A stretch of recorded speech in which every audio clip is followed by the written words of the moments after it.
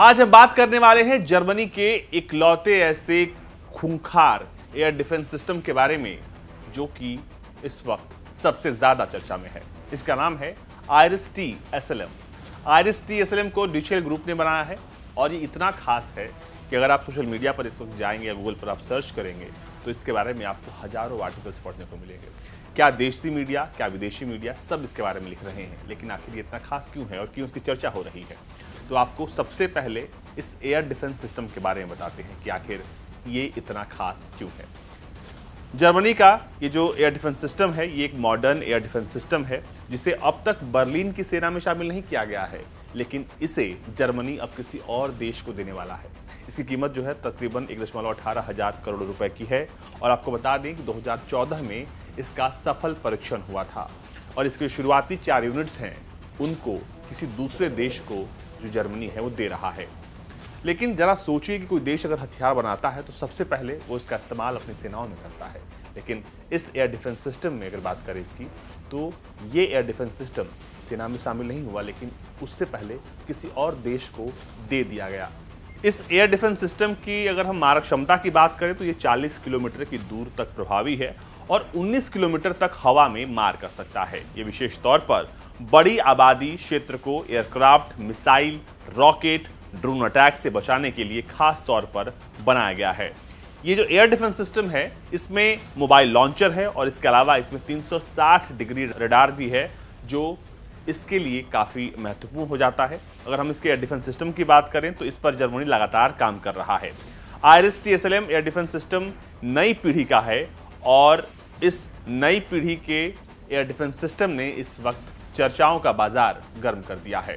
चलिए, अब विस्तार से समझते हैं कि आयरस टीएसएलएम कैसे काम करता है। आपको बता दें कि इसमें तीन तरह के जो हैं गाड़ियाँ होती हैं एक साथ। एक एक होता है लॉन्चर, एक होता है कमांड एंड कंट्रोल और एक होता है जहाँ से रेडार होता है जो कि तमाम गतिविधियों को, तमाम मिसाइलों को, तमाम टारगेट्स को ट्रैक करता है। अगर हम सर्विलांस की बात करें तो वहाँ पर जो एलिवेशन एंगल है, वो तकरीबन 90 डिग्री तक है। और इस जो सिस्टम लगा है, जो लॉन्चिंग सिस्टम है, इसमें हाई फायरिंग पावर है। इसके अलावा ये मल्टीपल टारगेट्स को एक साथ इंगेज कर सकता है। थ्रेट एवेल्युएशन है। इसके अलावा आपको बता दें कि इसमें तकरीबन 40 किलोमीटर तक और 20 किलोमीटर के एल्टीट्यूड तक मार गिराने की टारगेट को क्षमता है। और जो तीन सिस्टम या तीन जो गाड़ियाँ होंगी, यानी ये जो एयर डिफेंस सिस्टम है, वो इकलौता नहीं है, बल्कि तीन गाड़ियाँ एक साथ एक जगह पे होंगी, तब जाके आयरिस टीएसएलएम जो है, वो पूरी तरीके से कंप्लीट होता है। आयरिस टीएसएलएम में तीन गाड़ियाँ हैं, एक पर हमने बताया लॉन्चर दूसरे पर रडार और तीसरे पर जो है वो कंट्रोल स्टेशन होता है। अगर हम इसके रडार की बात करें तो इसकी जो क्षमता है, वो तकरीबन ढाई किलोमीटर की, यानी कि ढाई किलोमीटर के दायरे में कोई भी टारगेट अगर आता है तो उसको ये ट्रैक कर लेगा।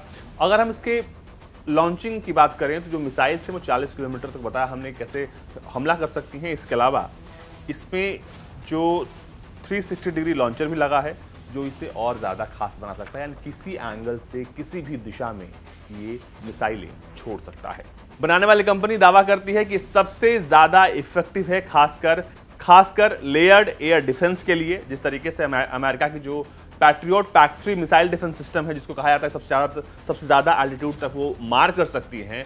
उनके मुकाबले में ये एक बेहतरीन विकल्प है और हम इस खबर को आप तक इसलिए पहुँचा रहे हैं क्योंकि इस वक्त जर्मनी ने यही, यानी कि आयरिस टीएसएलएम को, यूक्रेन को देने का जो वादा किया था, उसको अब शुरू कर दिया है और आपको बता दें कि जर्मनी से इन एयर डिफेंस सिस्टम्स को नाटो खरीदेगा और नाटो इन हथियारों को यूक्रेन को देगा। फ़िलहाल यूक्रेन चाहता है कि ऐसे 11 एयर डिफेंस सिस्टम को खरीदा जाए ताकि वो अपने इलाकों को, शहरों को सुरक्षित रख सके, क्योंकि क्यू में जिस तरीके से बमबारी और मिसाइलें गिरी, उसके बाद से यूक्रेन समेत पूरे पश्चिमी देशों में इस बात को लेकर चिंता है कि किस तरीके से यूक्रेन के शहरों को, लोगों को बचाया जाए।